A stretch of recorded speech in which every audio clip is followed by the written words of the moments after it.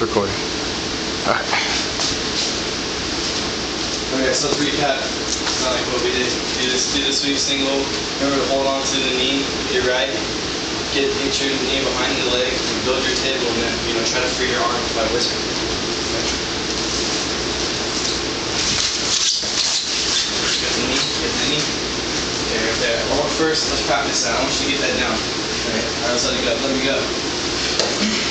Okay. Get your sweep. Hey, remember, remember the, remember the push pull thing, man. So you got your momentum. Uh, go hit here, get your shot. Boom. Ah, don't hold your hip like that. Right. There you go. Keep that knee. Where's the knee? Where's the hand on the knee? There you go.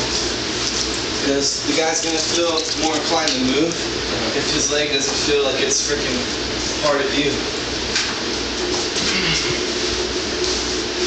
Still slow it down just a bit. Okay, feel, the- feel the push. Okay. Remember to use use it against use it against me and drop. Take your shot.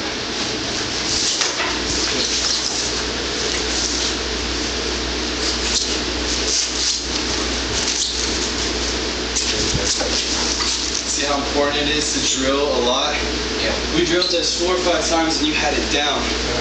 Then we moved on to something else and did a bunch of other things and then just see wrestling you gotta you gotta drill keep up on your drill. Yeah. Keep keep your muscle your muscle memory sharp. Okay, your me. Okay. Okay, remember how I told you my next step is to try to step around with that knee behind this leg? Yeah. Okay, now do it do it as I react. Okay, boom. Now go back down again. Keep my leg like right here. Okay. You're right here, and I'm telling you that if my knee is if my knee is loose, I can do all these things. I can kick out, I can cartwheel over, I can I, I can I can make it hell for you. Yeah. I can start pulling.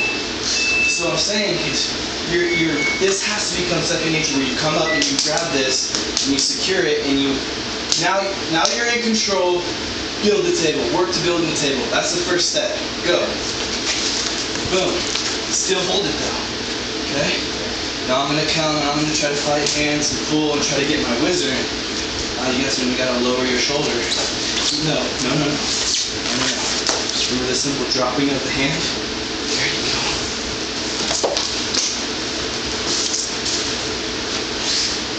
Your table is to loosen up your free hand. He wants to take away your free hand, the whizzer. So you gotta fight to keep that free hand free. You build your table, you got the knee, boom. Now that I've got that, I switch hands.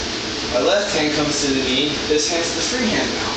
What am I reaching for? The other leg, get my two. Alright, so sweet.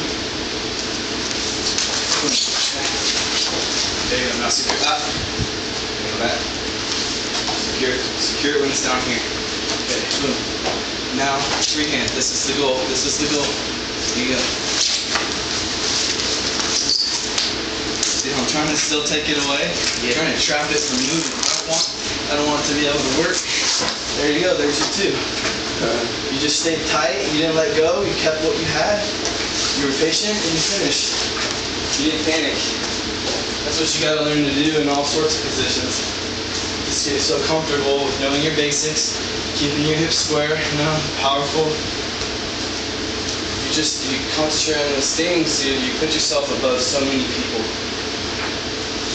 Yeah, like I said, it makes your defense really tough. And if your defense is tough, it makes your offense offense more confident, in my opinion.